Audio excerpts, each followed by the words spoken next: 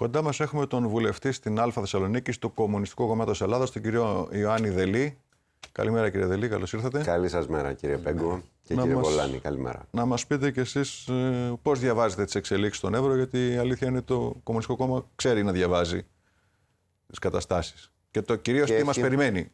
Και έχει Πού και θα πολύ οδηγηθεί; συγκεκριμένα εργαλεία για να τις αναλύει.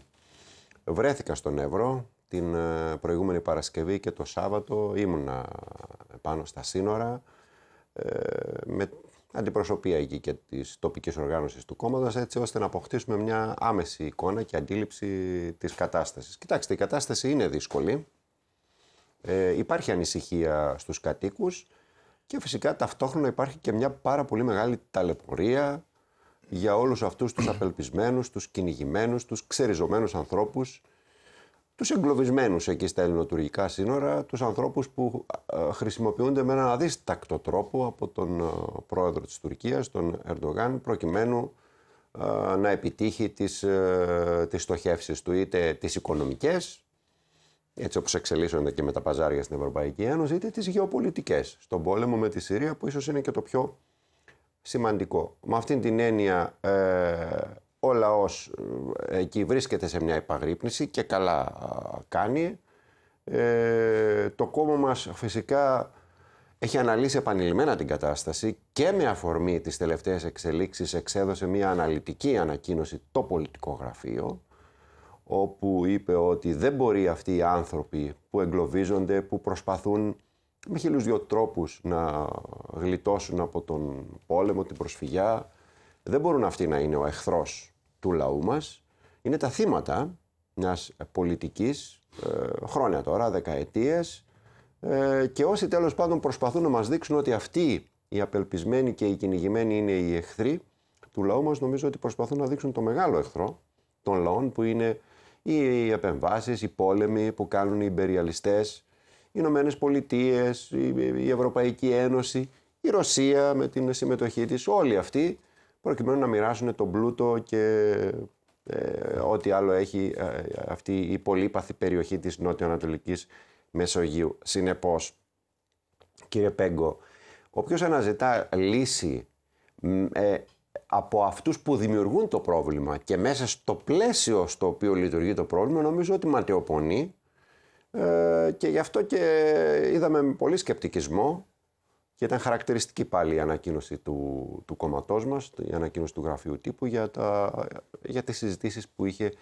ε, χθες ο Πρωθυπουργός ο κύριος Μητσοτάκης ε, στη Γερμανία. Τα μέτρα που έχει πάρει η κυβέρνηση στα σύνορα σας βρίσκουν σύμφωνους; Είδατε και την τοπική κοινωνία. Τι, τι καταλάβατε, δηλαδή ο Κατώς κόσμος και εκεί... μια περιγραφή και για το φρόνημα που Ναι, συναντήσατε φυσικά. εκεί των, και Φυσικά. των κατοίκων και των στρατιωτών. Φυσικά. Κοιτάξτε, ε, νομίζω ότι κάθε κράτος έχει το δικαίωμα να υπερασπίσει τα σύνορά του. Είναι αυτονόητο δικαίωμά του, αδιαπραγμάτευτο, να φυλάξει ε, τα σύνορά του. Ε, από εκεί και πέρα όμως, ε, και σε σχέση με ένα κλίμα που δημιουργήθηκε ιδιαίτερα τις πρώτες μέρες, ε, τις τελευταίες μέρες δείχνει αυτό να υποχωρεί. Αυτό δεν μπορεί να αποτελέσει το άλοθη για να έχουμε φαινόμενα ε, δημιουργίας, ε, να το πω, παρακρατικών ομάδων, ανθρώπων ακροδεξιών, ε, με καλέσματα να πάμε στο ποτάμι οπλισμένοι, να, να τιμωρήσουμε ή να Τα αποτρέψουμε είδατε αυτά τους εκεί, εισβολείς. τα συναντήσατε; Τα είδαμε, τα ακούσαμε βεβαίως. Είναι νομίζω γνωστά, δημοσιοποιούνται. Ε, είναι Ναι, επικίνδυνα επειδή όλα ήταν αυτά. Είναι επικίνδυνα. Ε, α, θεωρούμε ότι η φύλαξη των συνόρων είναι ε, ευθύνη της ελληνικής πολιτείας με το στρατό, ασφαλώς. Σαφώς. Είναι άλλο πράγμα το πατριωτικό φρόνημα του λαού. Οι γιαγιάδες, οι παππούδες ή γενικά οι κάτοικοι εκεί να στηρίξουν, να βοηθήσουν του, τα παιδιά α, που είναι στο στρατό, που υπηρετούν με ένα πιάτο φαγητό, με ένα γλυκό, με κάθε τρόπο να δείξουν τη συμπαράστασή τους και την αγάπη τους. Και άλλο πράγμα οπλισμένοι νταΐδες να παίρνουν τα ντάτσουν και να εμφανίζονται στις όχθες του Εύρου κυνηγώντας ε, προσφυγόπουλα με, με τις μάνες τους. Ε, δεν ξέρω αν αυτό ε, είναι ακριβώς, ονομάζεται και ακριβώς μια πατριωτική πράξη κατά την άποψή μας. Όχι, όπως σας είπα δεν είναι αυτοί οι αντίπαλοι μας. Αντίπαλοι μας είναι αυτοί οι οποίοι δημιουργούν αυτούς τους απελπισμένους ανθρώπους και τους εγκλωβίζουν εκεί ε, στα σύνορα τα ελληνοτουρκικά. Και εν πάση περιπτώσει κάποια στιγμή θα πρέπει κύριε Πέγκο και κύριε Βολάνη και στην ελληνική κοινωνία να ανοίξει και μια συζήτηση, εμείς το προσπαθούμε, γύρω από το τι έφερε τέλος πάντων αυτή η περίφημη συμφωνία Ευρωπαϊκής Ένωσης Τουρκίας. Για την κοινή δήλωση μιλάω. Τελικά αυτό που έφερε, ε, το μόνο απτό αποτέλεσμα ήταν σε πέντε ελληνικά νησιά να υπάρχει ένας τεράστιος εγκλωβισμός χιλιάδων ανθρώπων, ένας απάνθρωπος καλύτερα εγκλωβισμός χιλιάδων ανθρώπων σε συνθήκες πραγματικά τραγικές και να έχουμε και τα φαινόμενα στην, ε, ε, στα ελληνοτουρκικά σύνορα. Μέσα από αυτή τη συμφωνία αποδείχτηκε περίτρανα αυτό που είχαμε πει από την πρώτη στιγμή εμείς ως ΚΚΕ, ότι αυτή η συμφωνία ε, καθιστά τη χώρα μας ως την πίσω αυλή, να το πω έτσι, της Ευρώπης, όπου ρίχνουμε τα παλιά μας τα, τα αντικείμενα για να μην φαίνονται, ως, ως τη φυλακή, ως την αποθήκη προκειμένου των ανθρώπων αυτών των, των προσφύγων και των, των, των μεταναστών για να μην πάνε στις υπόλοιπες ευρωπαϊκές χώρε. Μια πιο σκληρή στάση εχθές απέναντι στον ε, Τούρκο πρόεδρο. Τον είδαμε να φεύγει δυσαρεστημένος. σω η Ευρώπη συνειδητοποιεί, αλλάζει λίγο τη στρατηγική της απέναντι στον ε, Τούρκο πρόεδρο. Ή μήπως είναι υποκριτική θα συμπλήρωνα, στάση. Θα συμπλήρωνα συνεχίζοντας λιγάκι, θα, θα πω γι' αυτό, γιατί έχει πολύ ενδιαφέρον η ερώτηση σας. Θα συμπλήρωνα ότι είναι και οι συνθήκες του Δουβλίνου, οι οποίες βεβαίως σε συνδυασμό με την προηγούμενη συμφωνία δημιουργούν αυτό το πρόβλημα.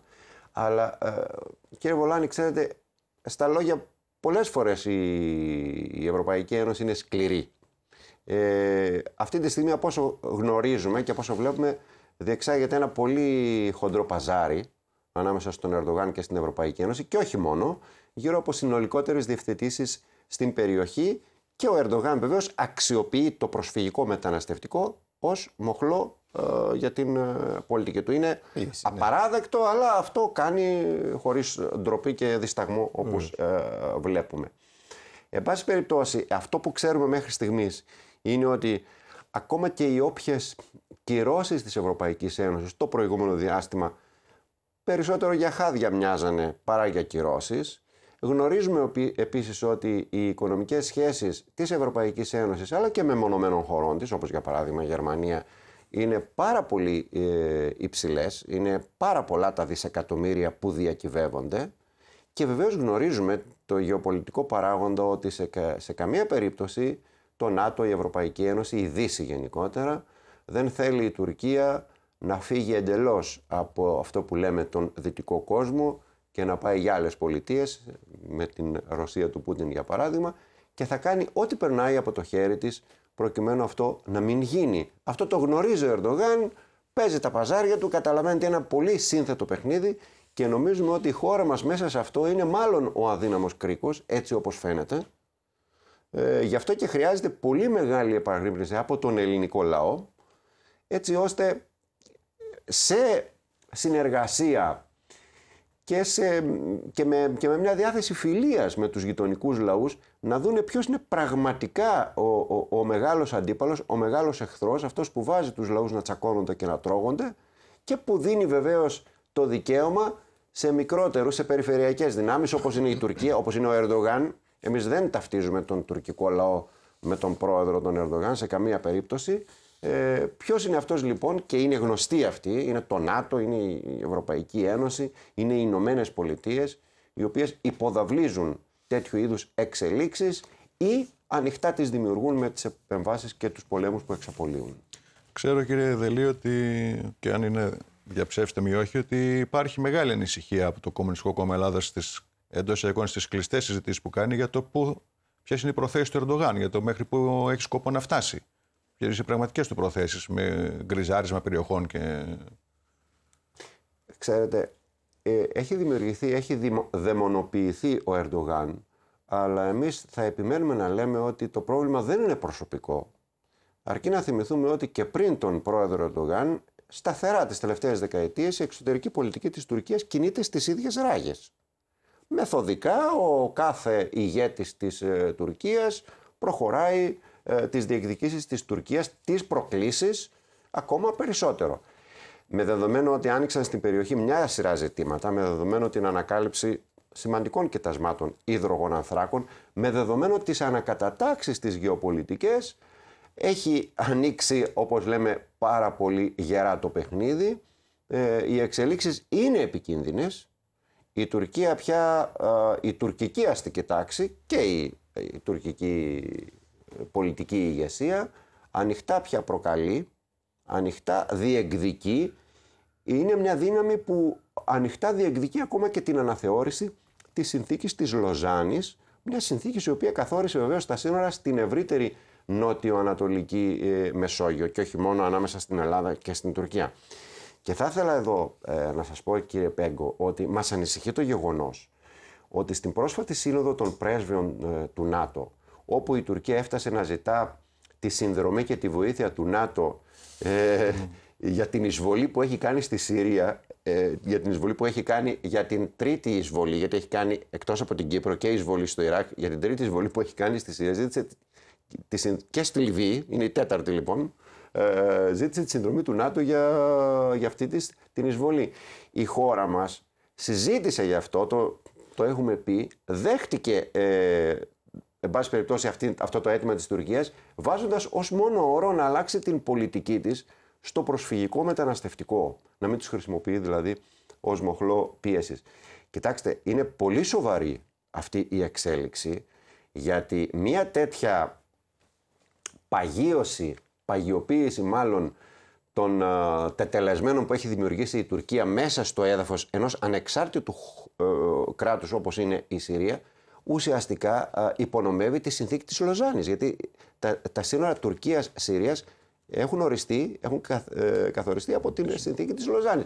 Καταλαβαίνουμε ότι ανοίγουν οι ασκοί του αιώλου. Είναι πολύ επικίνδυνα αυτά τα ζητήματα. Επιμένουμε να το λέμε ε, σχετικά με αυτά τα ζητήματα και βεβαίως ε, καλούμε τον ελληνικό λαό και τους λαούς της γύρω περιοχής και να σας πω εδώ κύριε Πέγο, κύριε Βολάνη, υπάρχει ένα Υπάρχει ένα παράδειγμα φιλίας ανάμεσα στους λαούς, είναι οι σχέσεις ανάμεσα στα δύο αδελφά κόμματα, στο Ελληνικό Κομμουνιστικό Κόμμα και στο Τουρκικό Κομμουνιστικό Κόμμα. Έχουν κάνει πολύ σημαντικές εκδηλώσεις. Η τελευταία ήταν στην Άγκυρα με τη συμμετοχή και του Δημήτρη, ε, στη Σμύρνη, συγγνώμη, με τη συμμετοχή του Δημήτρη του Κουτσούμπα. Είναι ένα παράδειγμα για το πώς μπορούν κόμματα και λαοί ε, να, να, να, να, έχουν σχέσεις φιλίας, συνεργασίας. Έχει εσωτερικά προβλήματα, Ερντογάν. Δεν τα πάει και τόσο καλά. Εντάξει, ναι. Είναι... Ε, Γι' αυτό γίνεται εξάγει. πιο επικίνδυνος και εξάγει τα προβλήματα αυτά. Προσπαθεί να ε, προσανατολίσει. Πιθανά να και είναι, οικονομικά. Πιθανά έτσι, να είναι και αυτό. Αυτό όμως που σίγουρα δεν πρέπει να παραβλέψουμε και πρέπει να το έχουμε καθαρό μπροστά μας, κύριε Βολάνη, είναι ότι πρόκειται για πάγιες επιδιώξεις της τουρκικής ε, αστικής τάξης, της τουρκικής πολιτικής κοινή. Είναι πάγιες οι επιδιώξεις εδώ και από τότε που θυμάμαι εγώ τις τελευταίες. Ίσως είναι η ένταση τον τελευταίο καιρό. Ναι, σε τώρα, πολύ μεγαλύτερη ένταση. Κάθε φορά, κάθε φορά αυξάνεται ή μειώνεται η ένταση ανάλογα άσχετα από το ποιος βρίσκεται, αν είναι ο Ερντογάν ή αν είναι η Τσιλέρ, αν είναι ο Ζαλ, αν είναι ο Ντεμιρέλ ή οποιοδήποτε. Μάλιστα. Ε, να κλείσουμε την συζήτησή μας που είναι ιδιαίτερα σημαντική. Ε, είπατε για τις απάνθρωπες συνθήκες το, που υπάρχουν σε νησιά ε, για τους μετανάστες. Ναι. Ωστόσο, η, στην ΣΕΡΕΣ η λαϊκή συσπήρωση που διάκειται φιλικά, αν δεν κάνω λάθος, με το Κομμουνιστικό Ελλάδας, ε, ήταν ενάντια στην ομόφωνη απόφαση που πάρθηκε από τα άλλα κόμματα Σωστά ε, να φιλοξενηθούν εκεί οι μετανάστες. Για ποιο λόγο, να μας το εξηγήσετε, να το εξηγήσετε στον κόσμο. Η, η λαϊκή συσπήρωση είναι, είναι η παράταξη την οποία στηρίζει, είναι η κοινή ονομασία όλων των δημοτικών παρατάξεων που στηρίζει το κόμμα μας ε, στους Δήμους και τις περιφέρειες. Κοιτάξτε, ε, είμαστε απόλυτα συνεπείς σε αυτό που λέμε. Εμείς λέμε καμιά κλειστή ε, δομή σε όλη την, ε, την Ελλάδα. Ούτε στα νησιά, ούτε στην υπηρετική Ελλάδα να κλείσουν τώρα τα hot spot και βεβαίως ε, λέμε όσοι τέλος πάντων πρόσφυγες και μετανάστες έρχονται σε ανοιχτές δομές, με ανθρώπινες συνθήκες και με πολύ γρήγορες διαδικασίες να εξετάζονται τα αιτήματά τους και από εκεί και πέρα να μετακινούνται στις χώρες προορισμού τους. Αλλά ε, έχουμε πει και κάτι ακόμα κύριε Πέγκο, έχουμε πει και αν θέλετε αυτό αποτελεί και τη λύση και τη διέξοδο και δεν συζητείτε αυτό. Ε, έχουμε πει η καταγραφή όλων αυτών των ανθρώπων, η διαδικασία υποβολής των αιτήσεων του ασύλου τους. Ό,τι τέλος πάντων ο εφοδιασμός τους με έγγραφα να γίνεται στους χώρους όπου τώρα είναι συγκεντρωμένοι. Και ο μεγάλος όγκος αυτών των ανθρώπων τώρα είναι συγκεντρωμένος στην Τουρκία. Είναι 3-3,5 εκατομμύρια. Εκεί λοιπόν και στα ελληνοτουρκικά σύνορα. Ποιος θα είναι ο φορέας που θα το κάνει αυτό, Υπάρχει ο Οργανισμός Ηνωμένων Αθνών. Υπάρχει ακόμη. Έχει υπηρεσίες, έχει διαδικασίες, μπορεί να το αναλάβει. Που θα πρέπει μπορεί να να, συνεργαστεί με τον Ερντογάν. μπορεί να το, χρη- μπορεί να το Εκεί- χρησι- μπορεί εκεί να, μπορεί να, καταλήγουμε μπορεί πάντα. να αξιοποιήσει, ναι, μπορεί να αξιοποιήσει και την Ευρωπαϊκή Ένωση που μπορεί να χρηματοδοτήσει μια τέτοια προσπάθεια και βεβαίως να χρηματοδοτηθεί και η μεταφορά τους. Τούτων δοθέντων είναι απολύτως συνεπής η στάση της λαϊκής εισπήρωσης. Όπως είπαμε, όχι στο νομό των Σερών, είπαμε όχι και στη Μυτιλίνη και στη Χίο και στη Σάμο να κλείσουν τώρα αυτές οι δομές. Αυτές που θα μείνουν να είναι ανοιχτές σε κάθε περίπτωση και ε, η διαμονή των ανθρώπων αυτών να είναι ολιγοήμερη εκεί, έτσι, μέχρι να εξεταστούν τα αιτήματά τους. Όχι να εγκλωβίζονται για μήνες και για χρόνια όπως τώρα. Μάλιστα. Κύριε Δελίνη, σας ευχαριστήσω πολύ για την παρουσία στην πρωινή επισκόπηση Και εγώ σας για όλα όσα μας ευχαριστώ. είπατε. Και εγώ σας ευχαριστώ.